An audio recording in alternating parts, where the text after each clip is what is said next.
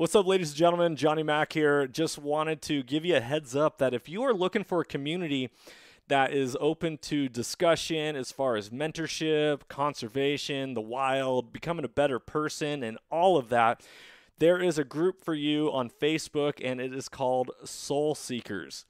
Soul Seekers, we are all about making ourselves a better person. We're all about making sure hunting lasts for generations to come and encouraging people to get plugged in. Whether you are someone who has something to give or someone who needs to soak it up like a sponge, this is a community for you, and I encourage you, I strongly encourage you that if you're on Facebook to join Soul Seekers, and if you're not on Facebook, hop on there just for that group. It is only going to be as powerful as we all make it. And so just remember that life happens for you, it doesn't happen to you, and that you can't outgive good. You can't outgive good people. I want you to understand that and I want you to believe it because when we believe that and we lead with courage and we lead with intention, lives are changed, lives are transformed, just like on this podcast, transformation through primal adventure. Be blessed. Enjoy this episode. Talk soon.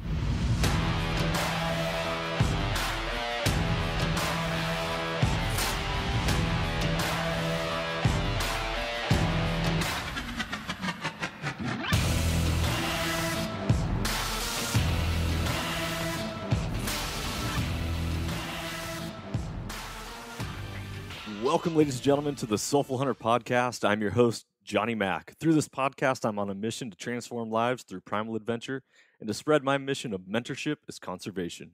This podcast is powered by Washington Backcountry, a resource for all hunters, both new and old. To find out more about Washington Backcountry, go to wabackcountry.com or search for Washington Backcountry on Instagram, Facebook, Twitter, and YouTube. The Soulful Hunter podcast is also proudly presented by the Crazy Elk Company. Based out of the state of Washington with products made in America, they are providing solutions with gear to problems you didn't even know you had. Their tag wallet is one of those solutions, and I had the pleasure of using it on all of my hunts this last year, and it is now a mainstay in my kill kit. The tag wallet is a water resistant zippered pouch that comes with its own reusable zip ties to safely and securely store your notch tag for quick and easy access. For more information, go to crazyelkcompany.com and use the code SOULFUL with a capital S to save 20% at checkout. Be blessed, everyone, and as always, stay soulful.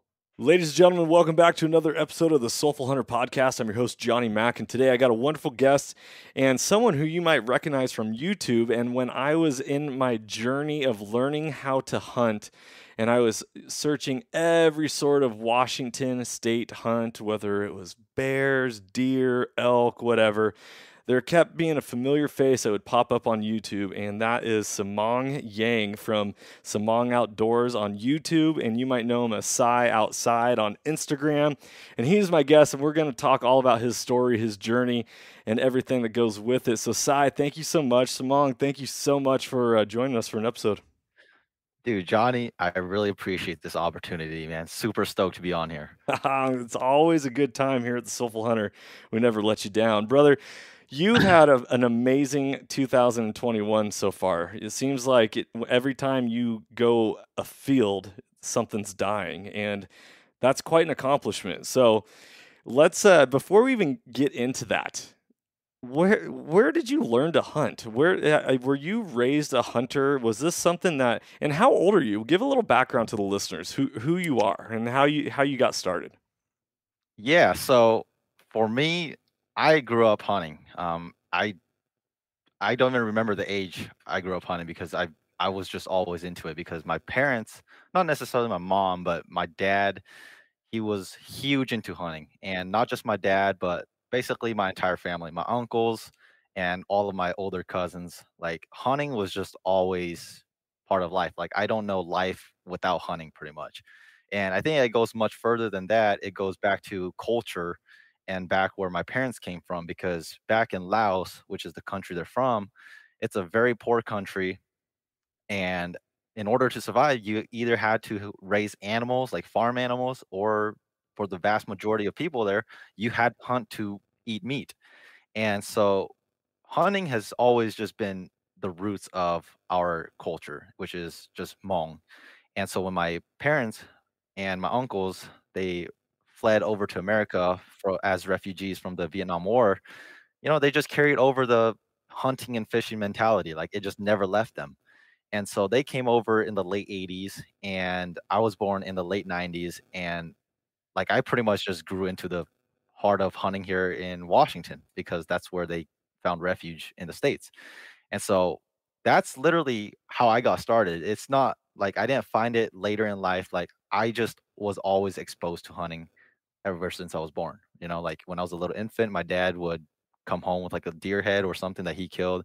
And so I just naturally took hunting. And that's basically what has led me to where I am today. Man, that is uh that's pretty awesome. So you what, what was the first hunt that you remember? I think the first ever hunt, and I could be wrong, but the first hunt, the earliest hunt I can recall is a grouse hunt up in north central Washington. It was me, my dad, and my two older brothers. I if I had to guess, I was probably like three years old or four years old.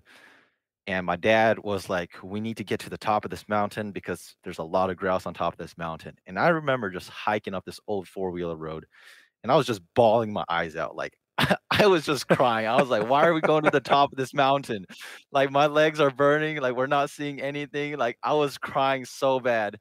My dad was like, dude, you need to you need to stop crying, man. You're gonna scare all the animals away. But at that time, I mean, I was like three years old, four years old. Like, I didn't know hunting.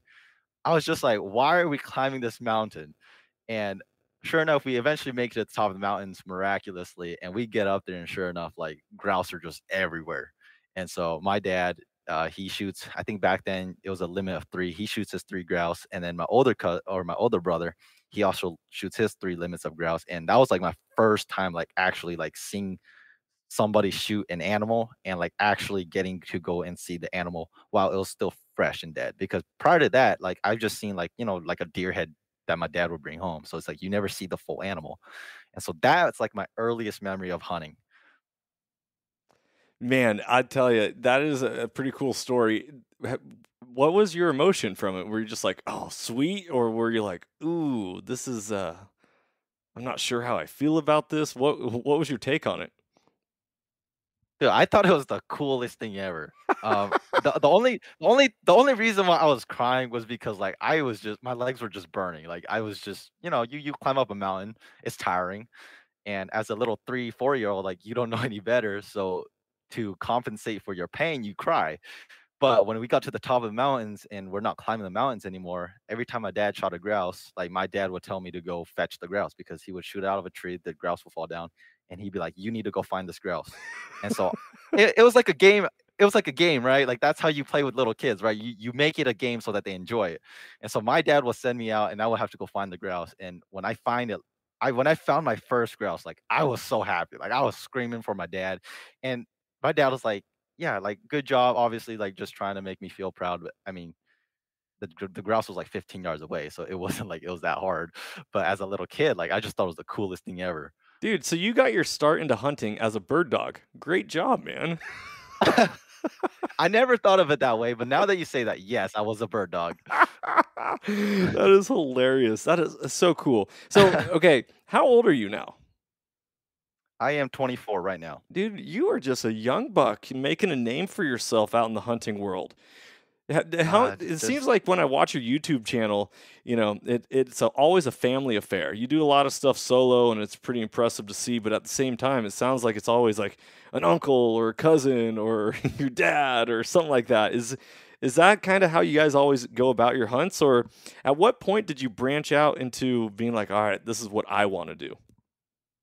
Yeah. So, like I said, like when my family moved over, basically as refugees, like it's always a family thing, right? So, uh, my my dad, he's very close with my uncles. Like they're essentially best friends. And so whenever somebody's like, "Hey, I want to go hunting," he's like, he invites everybody, right? So it's like, "Hey, I'm gonna go deer hunting. You should come with me." And so we always just hunted as family, and like that's really what we're still doing today. And you know, it's it's just weird to think, you know, because I get a lot of questions from people asking, it's like, hey, like I'm completely by myself. I don't know anybody who can hunt. Like, do you have any tips for me? And it's like, it always like hits me different because I'm like, wow, like I never known hunting outside of family. Like I can't even imagine having to go hunting and having nobody to go hunting with. Like I it feels very daunting, you know? It's like it's like I just don't know family outside of family hunting, to be honest. Hearing It's you, just always been a family thing. yeah, hearing you say that, it, it, it makes me feel like, okay, someone understands it. Because as an adult, when I got into hunting at 30, uh, 30 years old, 31 years old, it wasn't until, what, 33 that I shot my first uh, big game animal. You know, that was like, what is that? It was only four years ago. And, and here I am, like trying to learn how to hunt, and nobody knows. No one knows how to hunt. No one's talking to me about it. And so I was like, well, shoot, I don't really necessarily feel comfortable going out in the woods by myself, learning and doing this. And that was my own uh, courage issue. It's something that I had to get over as an adult. At the same time, I recruited my buddy and and uh, now partner Tony, at Two Shot Tony. To I called him up one day. I was like, "Hey man, you want to start hunting with me?" He was like, "Yeah, sure." and and uh, I sent him a link through a text message to uh, to uh, hunter safety, and then that was literally my hunting community. And so part of that journey was I was like, well, shoot, how am I going to make friends in the hunting world? Uh, and and so I started doing community events to get people involved so that I could network, and it's just led into what it is today. And it's so cool. Here you are. When do you feel like you are ever going to branch out of the family tree and really, or is it always going to be like, hey, dad, uncle, all this stuff? Like, are we all putting in for tags together and, and doing that route? Or is uh, Samong going to start branching out on his own at any time? Yeah, so it's it's funny that you you say that because that's literally what I I did this year. Like this year, I, I guess it would be last year when I was planning my hunts for this year. I was like, you know, like I love my family, but like, how about I try to branch out? Whether it's I go on my own or I just go with new friends and new people. And so I will always have hunts specifically planned for my family. Like that's something that I will never stray away from. But at the same time, it's like I'm very fortunate that I get to hunt as much as I can because as of right now, like YouTube's all I do. So I have all the time in the world to hunt. And a lot of my family, you know, they're they work a full-time job. And so a lot of times they're only free weekends. And so I'm like, okay, I have all these weekdays off. Like, how can I plan certain hunts with new people that I've never hunted with or new friends or something like that. So this year is actually my first year where I've really like gone outside of my family and just started hunting with different people. Yeah, were you the one that was reaching out to other people to uh, get connected, or were they? Did you have people knocking at your door saying, "Hey, we want to get connected with you"? Um, um, for the most part, it's just people asking me. Um, I don't know why people want to hunt with me, but you know, like people will say, "Hey, like, are you ever down to hunt?" And the, the the truth is, like, I would love to just hunt with all my followers. Like, I I really can't thank my followers enough for like you know their time that they spend watching my videos. But the the reality is is like you, it's just impossible to hunt with thousands of people. It, it just it's impossible, right? Right. And so it's like it's like you have to like slowly chip away one person at a time. But at the same time, it's like I I also want to not just hunt with anybody. I want to also hunt with people where I think they have some type of mentality, or whether they're just a beginner hunter and they're just like, hey, I literally don't know what I'm doing. Like, are you willing to just help me, you know, put get me on the right path? And so sometimes it, it really just varies. Um, it really just depends on how I feel about that person. And it's not to be anything personal against other people. It's just a matter of like, is this right? Is this the right time to go hunting with this person? Totally. You got to vibe with the people, man. You know, uh, Exactly. if you're out in the woods, and all you listeners, if you've ever experienced this, I'm sure you know exactly what we're talking about. When you're in the woods hunting with the wrong person, it really sucks. And especially if now, Sai, you might not experience this because all you do is hunt and uh, all you do is YouTube. But as a as a father of three boys and a full time school teacher, my t- uh, time hunting, even when I'm mentoring people, is still my time hunting. And anytime that I'm a weekend warrior and I can get out, but it's not the best experience with anyone who's not truly enjoyable, it's like, oh, that really, that really stinks. So I highly encourage all you listeners to, when you mentor people and before you mentor people, build a relationship. Build the relationship. Uh, mentorship is not just taking someone out of field. A lot of it is, you know, communication, uh, working through scouting and all that different stuff. And so, I, Samong, have you had any bad experiences with being out in the field with anyone? Surprisingly, no. Like everybody I've uh, gone with, like it's been amazing. Uh, truthfully, like um, I think this year outside my family, I've gone out with about six brand new people that I've never hunted with before, and all of them have been spectacular. Like I I don't regret, and I would hunt with those people any day again. Ah, that's awesome. That's awesome. Okay, so let's uh, let's dive into this YouTube channel of yours.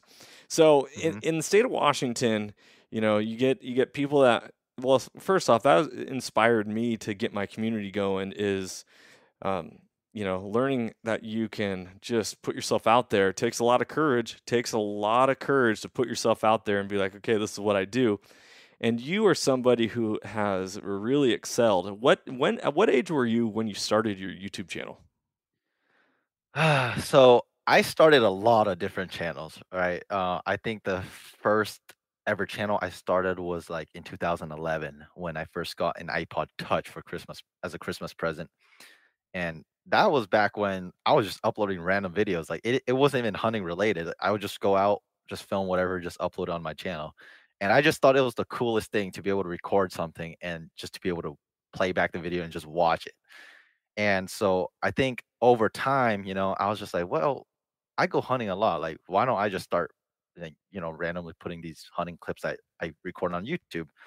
And so I think 2012, that season, I just started posting these crappy iPod quality videos online. They never took off, obviously. They got like 10 views and I was so jacked about it.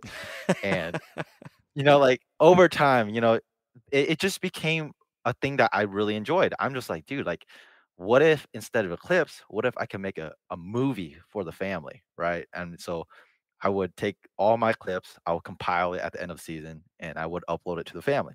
So at first it was just a family thing. It wasn't even about trying to, you know, build this YouTube channel. And my family was like, dude, like it's kind of hard to, you know, always pass out DVDs. Why don't you just start uploading it to YouTube so that we can watch it whenever we want to? So I'm like, oh, that's a good idea.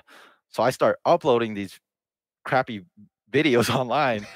and for some reason, like people are like slowly trickling in, like random people are like trickling in. They're like, dude, like it's so cool to watch Washington hunting videos. And back then, like I didn't know how lacking of Washington was in the hunting video on YouTube, right? Like nobody's doing this back then. And over time, it got to a point where I was just like, dude, I just want to keep making videos because I genuinely enjoyed it. I really enjoyed putting the videos together and just watching how my hunt unfolded that particular weekend or week. And over time, it just slowly progressed. And I think 2016 was I was when I said I'm going to dedicate a brand new channel specifically showcasing Washington hunting and fishing. And so that's where Samong Outdoors was created. And back then, like again, it was still small. It never took off. But again, over year, over the years, it just slowly kept growing. And fast forward five years later, it's basically where it's at. Man, that's something else. And now I remember uh, this this had to have been about 10 years ago. I remember I had a student in my class, and he was a, a, kid who, sweetheart of a person, but just not motivated for anything. And I remember being like, dude, what?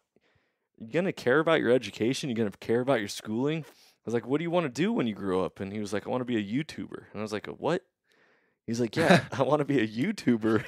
and I was like, I was like, that's what you want your job to be? You want that to be your career? And he's like, yeah. And I'm like, well, okay, even if that works out, you still have to make sure you pass school and and graduate and all that stuff. And so it's ironic that here I am in the YouTube game and here you are just blowing up YouTube. Is it something that uh, like kind of just fell into itself? I mean, I know you already gave a little backlog on on sharing your hunts with your family and all that, but at what point were you like, okay, I want to do this? I want to really pursue and uh, see what I can do with this. Yeah. So if somebody told me I would have been doing this as a like essentially a full time job around this time, I would have called them crazy. I, I, never, I never in my life would have thought it would have got to the point it, it it is right now. so around college, so I went to college. I started college in 2015, the fall of 2015, and that's about when my channel. I, I guess not 2015, but 2016. That's about when my channel started picking up a little. Like it wasn't big, but I think I was like at a thousand subscribers, and I just thought that was the coolest thing ever. I was like, holy crap! Like my channel went from like 50 subscribers to a thousand subscribers, and then throughout college, you know, like some people they know exactly what they want to do in college. I was not one of those people. I was struggling to find what I wanted to do in college. And so, you know, over the years, uh, my first two years of schooling, I was just taking my general requirements. And so, like, I didn't really have a direction picked out. But at the same time, I was still doing YouTube. And so I got into my junior year of college. And at that point, my channel was exponentially growing at this point. And so I'm like constantly looking at my degree and YouTube. And I'm like, hmm, how can I make these two work together rather than having YouTube be its own thing and my college college degree being its own thing?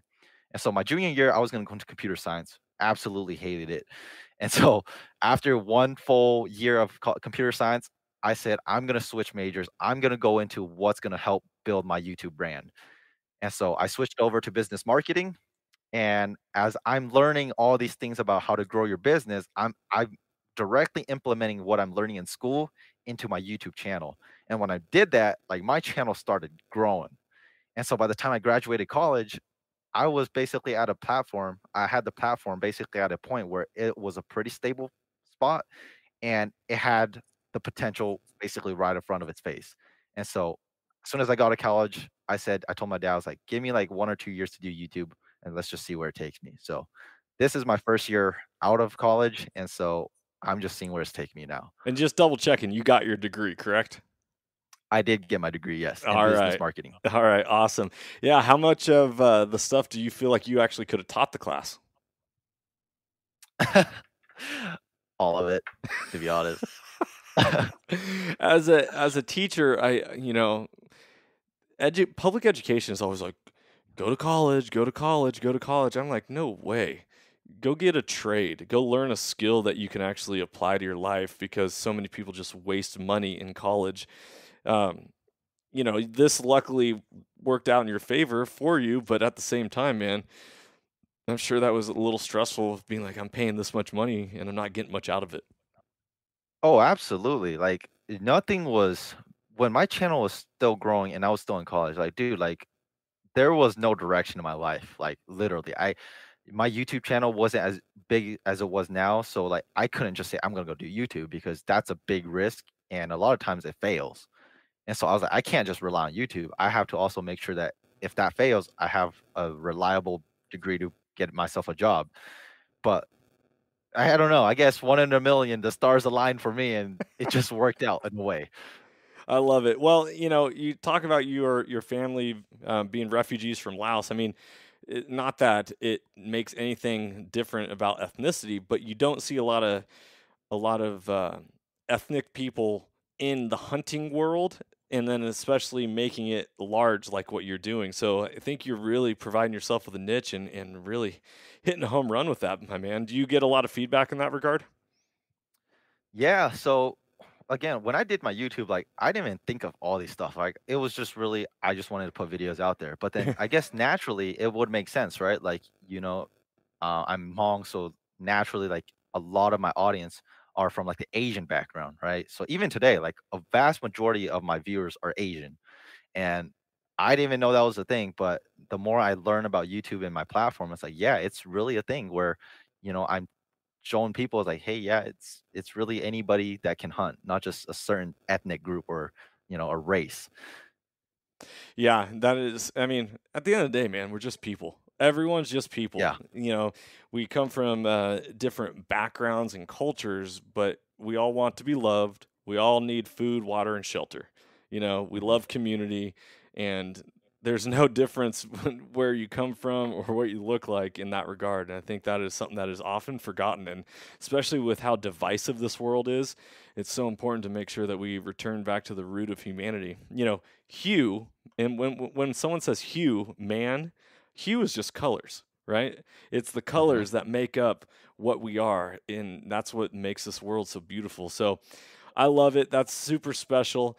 Um, one of the questions I have is you go out and, and you hunt with your family a lot, and you guys have been very successful in dropping a lot of different animals.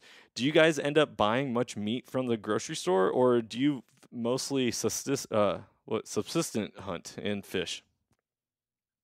Yeah, so um, I think it's it's pretty misleading, right? Like you you go on my Instagram page and it seems like I'm having a killer of a year, which I am. I'm not taking anything away from it. I'm very I'm having a very lucky year this year. But how my family has always done it is whoever kills an animal, it's not just that person that gets the meat. We divide that animal evenly per household, right? So like the other day when my dad shot his bull, it didn't go directly to my family. We divided it evenly to how many uh, households were involved with that particular harvest. And so when my dad shot his bull, there was four different households. So we split the meat of that bull to four different households. So when you think about it, we got a quarter off of like a quarter meat of that bull in our freezer. So when you think about that and you're dividing all these deer and elk, my specific household, it's not all that much meat, right? And hmm my household, we have like six people in the household. So you blow through meat quite a bit. But instead of just necessarily relying on the supermarket, what we actually go do is we will actually go out to local farmers and butcher an animal ourselves because it's just more cost effective that way. And a lot of times, those locally raised animals are in a much more humane setting than supermarket meat. Yeah, absolutely, absolutely. You know, I I had the the blessing of taking an elk, a deer, and two bear this last year, and I am in the same regard. Where it sounds like I should have a ton of meat in my freezer, but anytime I'm with my hunting partner Tony or anyone's packing out that animal, they are getting a share of it, and it ends up being a family of five. Um, I'm like, dude, it's one year removed and I feel like I'm already in a meat crisis. you know, it, go, it goes so fast. But we also this year uh, ended up buying half a cow from a local uh, farmer, and and that is one of the Mm. ways that it's the first time, ironically, that we've been ha- we've had to buy red meat in a few years, and that's been a blessing. But man, it's uh it's been a cold cold year for for the soulful hunter in Washington backcountry.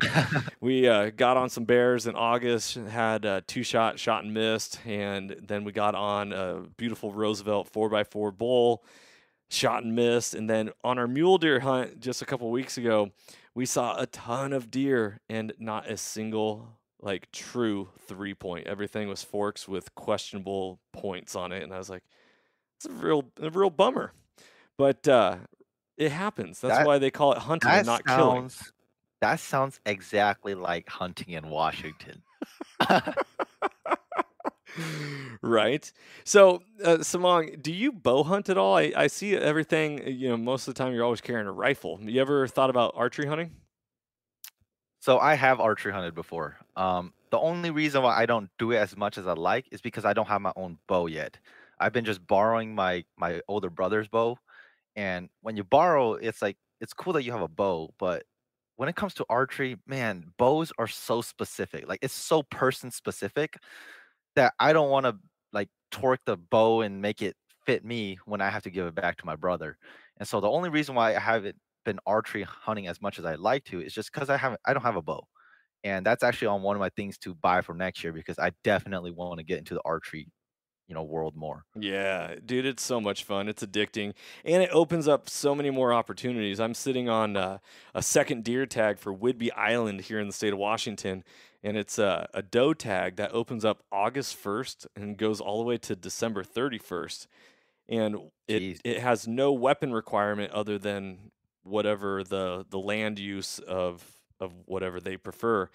And so Mm. Having that in my arsenal of being like, okay, go to a landowner and be like, hey, would you let me uh, shoot any deer? Um, what weapon? Well, whatever you would prefer, muzzle loader, rifle, uh, bow. It just is so much nicer to have that, even if you're not fully always going to do every hunt with the archery. But it's awesome Uh, with a YouTube channel like yours, man. I'm surprised that uh, you're not getting on that a lot quicker and and, and capitalizing on on the ability to to work with some different companies and get their brands in front of eyes because let's face it social media and youtube nowadays has just become a giant advertising platform And Yeah. do you do you end up getting that a lot? I mean, I had a company reach out to me the other day on social media on Instagram, and they're like, "Hey, we'll give you fifty percent off uh, truck custom wheels. Um, just you know, advertise, throw out a couple pictures." And I was like, "Dude, I'm not going to pay you to advertise for you," and that that, that didn't really sit that well with me. But do you get a lot of that? Oh, absolutely. I I mean, I think anybody that has any type of platform on social media gets those from time to time. Some more than others. Uh, I definitely get those a lot. But the the thing when it comes to sponsorships is I'm pretty strict on what I allow as a sponsor or a sponsor of a certain video.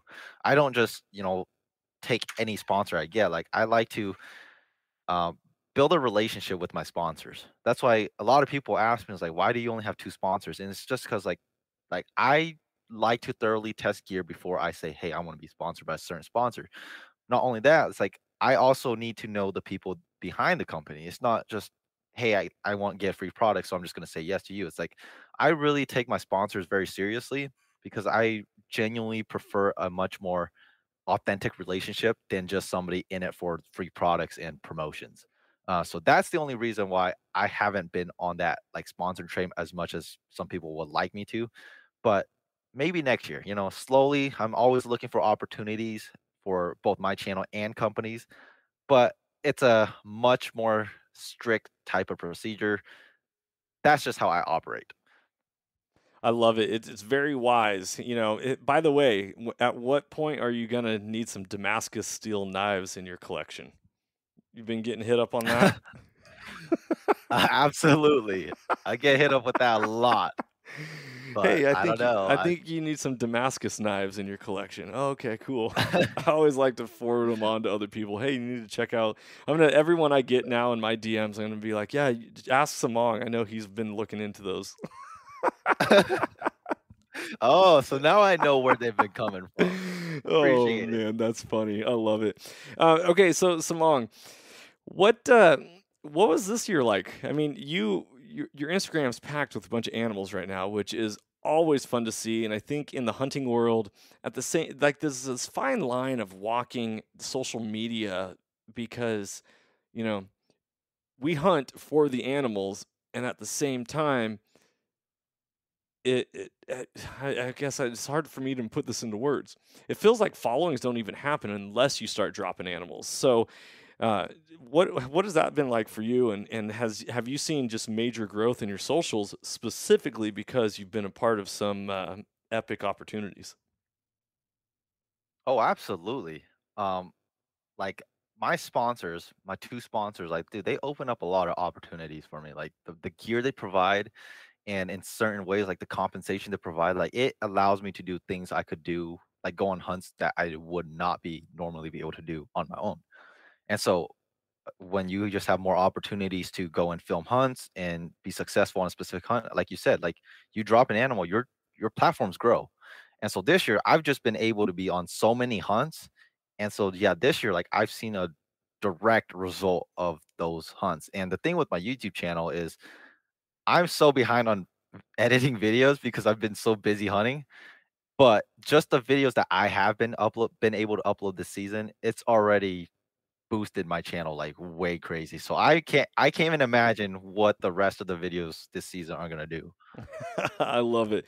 Okay, so what advice do you have for anyone who's listening to this podcast and thinking about filming their hunts and thinking about starting a YouTube channel? Maybe it's not even filming their hunts, maybe it's just talking about their gear. Maybe you know everybody loves a good pack dump video. Everyone loves good gear review videos. You got these different things that happen and YouTube is such a resource nowadays. What pieces of advice can you give from someone who has taken marketing classes and has um, you know grown your platform as large as it has become what what are some some tips that you have for people Yeah, so th- those are actually some really great questions. But the the biggest one that I've noticed that is has the biggest impact on your growth is consistency. You have to be consistent at uploading videos. And the problem with hunting is you can't at, at least the average person can't hunt year round. You hunt in the fall, but then once you hit winter, spring and summer, you have all these months where you're not hunting and you don't have content, right? So you have to be creative and find videos to fill in those gaps outside of hunting season. So for me, I also fish, right? So I fill in like the summer months and the spring months and some of the winter months after season and before season by just fishing and just making fishing videos. Because I've noticed that the more you show your face in front of your your viewers, the more they familiarize themselves with you and over time it feels like they build a relationship with this random person online. And I feel like I feel like the more they they know you, the more loyal those people are to you. And what you want on a channel is loyalty because there are people with millions of subscribers, but then their videos are only getting like 5,000 views. So the vast majority of people who who once said I I want to follow this person have basically just forgotten about them, right? And yep. so that's the thing with social media is like you have to constantly be learning that. But then the biggest thing is just consistency. Be consistent on your videos, but at that same time, also know that you don't have to force yourself to upload a video because I what I do nowadays is I just tell myself it's like I want to upload the best videos I can. But at the same time, I don't want to make my viewers wait too long. Granted, it's been 3 weeks since I uploaded my last video, but that's just because I've been so busy hunting. Mm-hmm. gathering more footage. I think, right? I think there's always a grace period with the hunting industry or the hunting world where if things don't get uploaded in the fall, it makes sense as to why. yeah, exactly. So it's not like I'm just trying to ditch my channel. It's just like I literally just haven't had time to sit down at my computer and edit. Like literally, I just got home like two hours ago from elk camp and literally just got took a shower, got on here because I had a meeting with you, right? And so tomorrow night we're headed back up to elk camp. So I literally don't have time to edit. Man, that is uh, that's that's good advice. Now, when you say consistency for uploading, what what is consistency? So that's a good question because a lot of people think consistency. I guess I should elaborate. So when I say consistency, I don't just mean like uploading one video a week. That's part of it, but that's not all of it. The other thing too is you have to be consistent with the quality of your videos, right? Like if you upload one super high quality video and like a lot of people love that video and they subscribe to your channel because they love that one video and you follow it up with like seven absolutely crappy videos people are going to be like wait like like i'm let down. You know like i didn't subscribe to watch these seven crappy videos. Like i subscribed to watch that quality video and so not only do you have to be consistent in terms of how many videos you upload in a certain time period you also have to be uh, ensuring that these qual the quality of these videos are constant and throughout your videos. If they're not constant, they should only be getting better. Mm, that's interesting perspective. You know, as someone who has my own YouTube channel, for me, what my videos have not always been the best. It was more just content to put out there to support people on their journey. And it wasn't until maybe about a year ago, year and a half ago, where our video content has been phenomenal, but I have not released any of that really high content onto the channel yet because uh, all I actually I don't know if you are, are aware of this, but I actually launched a, a show on Carbon TV this year called Soul Seekers. And mm-hmm. so yep. we we released all nine episodes on Carbon, and I'm like, man, I really want to drop it on YouTube because I want to show everyone on YouTube like this channel's extremely upped its game. But I'm like, I don't know, I'm not sure if I'm if I'm ready to do that. At the same time, my numbers started growing when I started releasing the podcast on video platform on YouTube. So whether we're not necessarily recording this in video, but we'll have a static image, and then just the consistency of that once a week started growing the channel more and more and you know it, you know it's so interesting you know we're having this conversation but the people listening to this podcast who knows what they're thinking? Maybe they're like oh okay i can do this. Okay you know yeah. that doesn't sound so bad. Maybe they're a parent and their child wants to start one.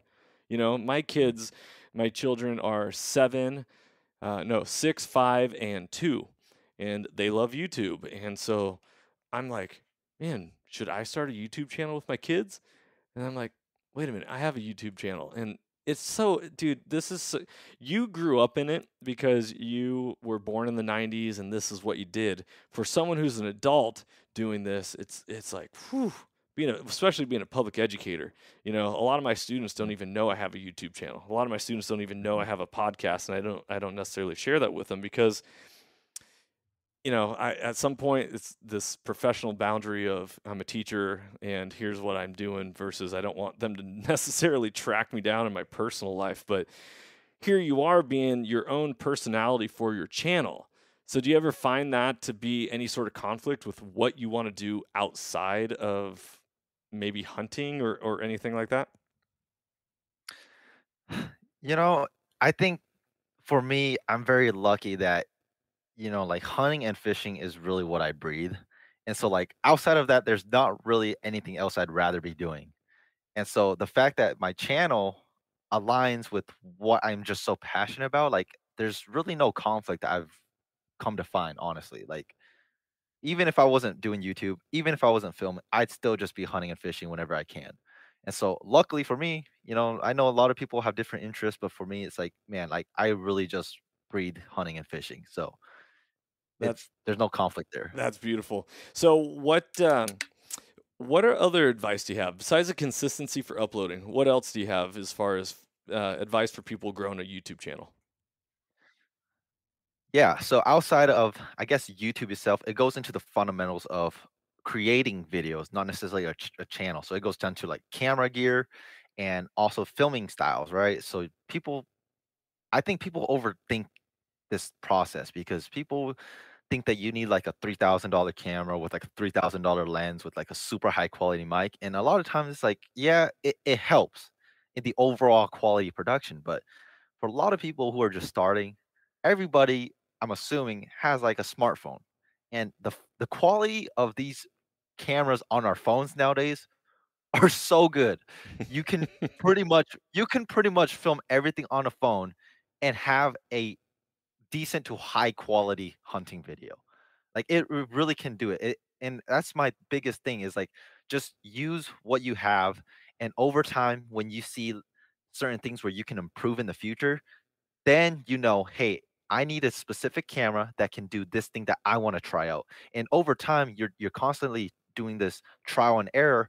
And over time, you you learn what works for you and you learn what doesn't really work for you. And so you eventually build your niche, right? Because that's really all it is about YouTube. You want to build your niche, you want to be unique. And so that's really what I did. I just learned what cameras I work that work for me. I learned my filming style. I learned I wanted to be more raw versus like, you know, like a film style. And so I just stuck to it. And it, go, it goes back to my point of consistency. All my videos, if you watch them, they're pretty much raw videos. Like there's no fancy editing, there's no fancy filming, you know, stuff like that, like cinematography. And that's what's worked for me. Now, vice versa, somebody who's really passionate about like cinematography, if you stay passionate about that and you stay consistent with that and you learn what camera works for you and how to operate effectively in the mountains, a lot of times that's what's going to build your foundation. That's what's going to build your platform. Mm. It's good advice. And I think that goes back to what I was sharing earlier about my show on Carbon TV versus YouTube because that is more of a higher cinematography rather than it being like, okay, well, we're just going to make a YouTube video. And I, and there's Mhm. a clear distinction on consumers on YouTube want a certain style rather than consumers on like the outdoor channel or sportsman's network or whatever that is and there's a certain expectation that is needed to be met um, f- from those platforms as well what do you got yourself a lady friend you got yourself a girlfriend and and does, is that going to impact Samong outside when uh, wh- when you do or if you do or how's that Uh, working out that So right now, and I don't. And the only reason why is because I'm really focused on building this platform. I want to make this thing stable. Um, because like a lot of people like you, you know, you got a family, you got a full-time job, and I'm sure you understand how hard it is to find time to make a video. Like I'm sure you do because even for me, as somebody as somebody who does it full time, like even right now, like I'm struggling to make a video just because I've been so busy doing other things, like going out hunting. And so like if I had like other distractions, like it really halts the progress that I want my channel to be growing at, right? And it's not necessarily to say that my channel is more important than certain people, but it's just that as of right now, you know, I haven't found that person. So why would you not just strictly focus on building your platform when you have the time to because there will be a time when you can't do this as hardcore as I like to. and so take advantage of the time that you have. That's basically the point. I, I love it. Yeah. Have you ever seen the movie um, Devil Wears Prada? I have not. No. Are you kidding me? A 24 year old single dude has never seen the movie A Devil Wears Prada. Well, uh, to be honest, I don't watch movies. I'm, dude, I'm joking with you. I'm totally I'm no, messing I'm with good. you. I'm the good. point of that, the, there's a quote in that movie that, uh, by the way, I love that movie. My wife and I we watch it together. Um, the the point of that is there's a quote where it says. Um, let me know when your personal life goes to hell. That means you're ready for promotion. And that speaks very truly to what you just said, being like, you know, do you want to be a jack of all trades and an ace of none? Or do you want to be really good at what you do and focus on that for the time being until you're ready to transition into something different? And that's a very, uh, very strong and and sound wisdom that you just dropped for all the listeners right there because I think that is something that people often forget. They're like, and I also, that's coming from somebody who I believe that you can do it all and you can do it all well. Um, maybe not hunting and all the hobbies because once I got into hunting, I was like, oh man, no more snowboarding, no more rock climbing, no more mountain biking. Like it's hunting and it's hunting year round because it is more of a lifestyle than it is a hobby or a passion or a pursuit. And I think that You also is something that people forget. Yeah, ab- you dude, you hit it on the nail with that. I, I think I think people think that hunting season is hunting. Like that's all you do, but it's like no, it it doesn't end. It doesn't ever end. It's literally like a lifestyle that you invest yourself in, and it's just this constant cycle. And I don't think a lot of people realize that. Yes, yes. So my wife, she is a registered nurse, and she's no longer working here in the state of Washington as a nurse because of uh, the politics here and King Inslee and his decrees that he makes. He's a jerk. I'm, I'm calling him out right here. And so Mhm. her and I, she is staying home and homeschooling her children this year because I'm also not a fan of public education. And so, and that's ironic because I'm a school teacher, but but uh, but so she's staying home and she is homeschooling her children, and at the same time she's like, okay, maybe we need to move out of state, and I'll look into getting a nursing job, and then you can homeschool and pursue uh, Washington Backcountry, Soul Seekers, Soulful Hunter podcast, all that stuff. And I was like, you know, that makes sense because right now, doing a full time job, doing a podcast, doing social medias, being what I want to be is a great father and a great husband. It doesn't leave much time for for all the other activities, you know. Um, a social media post nowadays, especially when you are working on growing a following, is a little bit more time intensive rather than just throwing up a picture and being like, "Okay, cool." do you do you find that you do you schedule out your posts or, oh, or anything like that?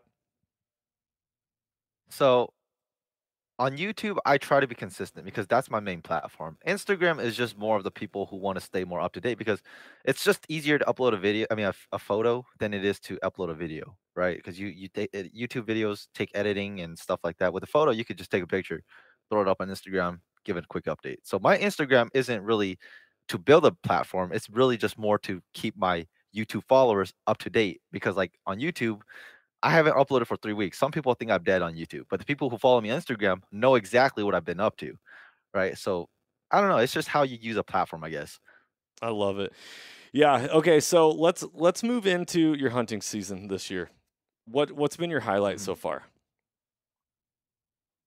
That would probably just be yesterday. I mean, uh, don't take me wrong. Like I'm having an absolute blessed year in the hunting woods this year. Like best season of my entire life, hands down.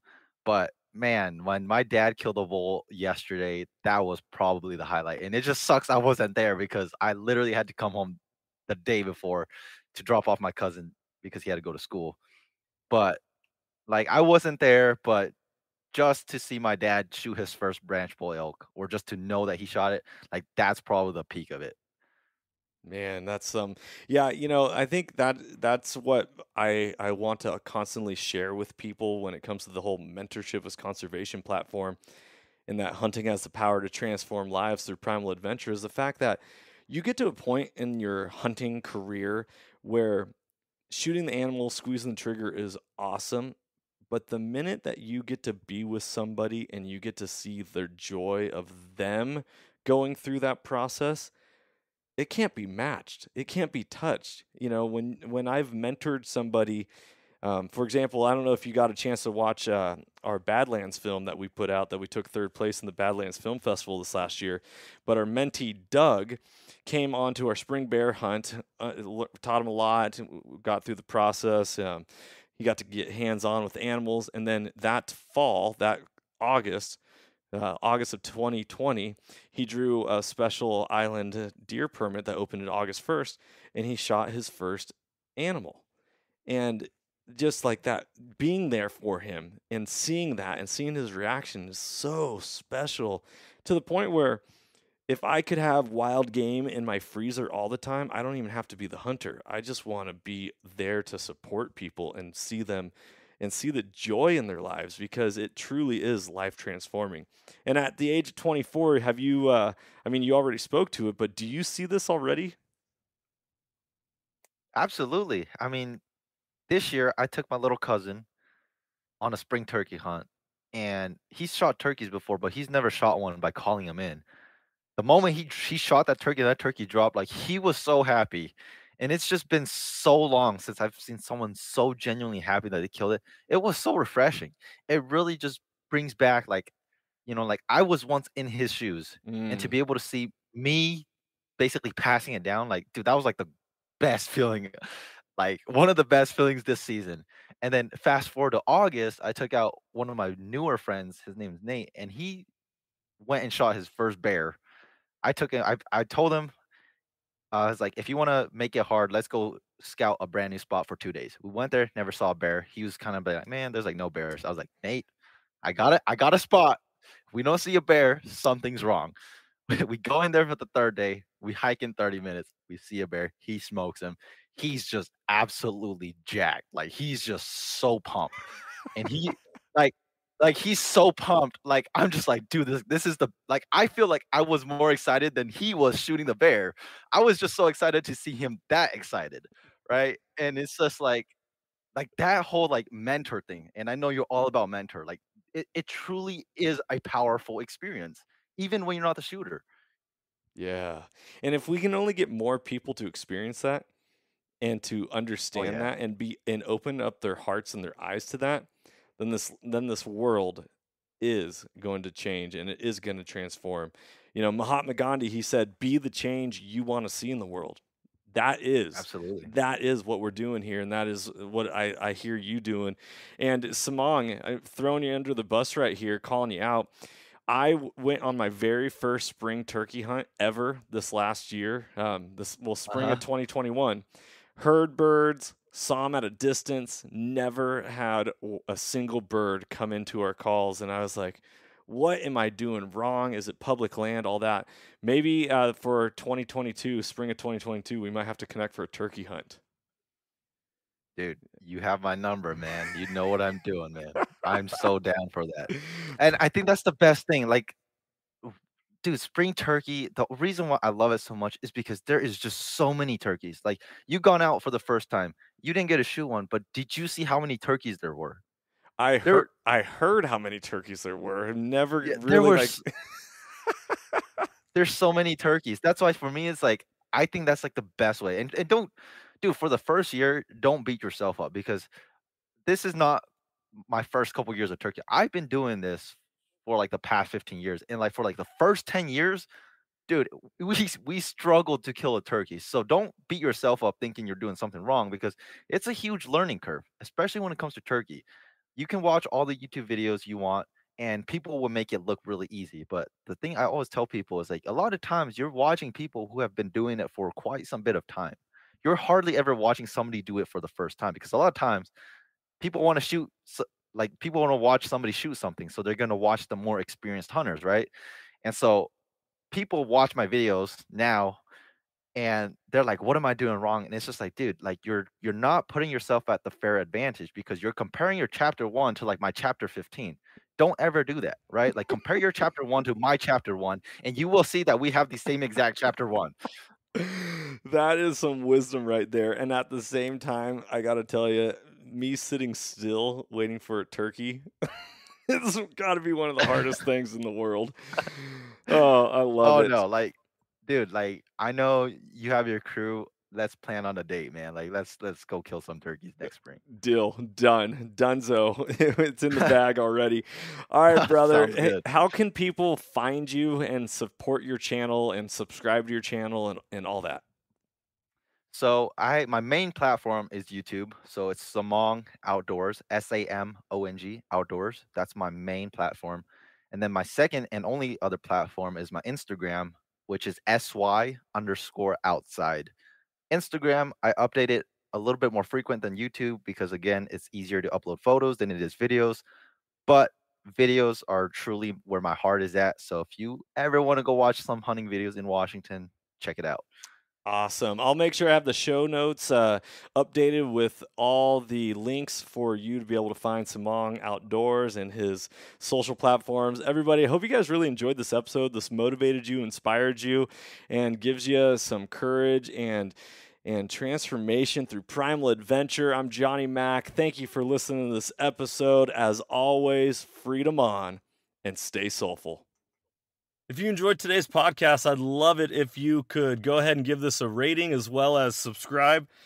Also, you can check us out on Instagram under the Soulful Hunter Podcast. Make sure to tag us in pictures and posts and use the hashtag Soulful Hunter. To find out more about the Soulful Hunter Podcast, go to soulfulhunter.com and be sure to follow the podcast as we are going to be bringing you a lot of great information, insight, and changing lives through primal adventure. I look forward to connecting with you on the next episode. Stay tuned and stay soulful.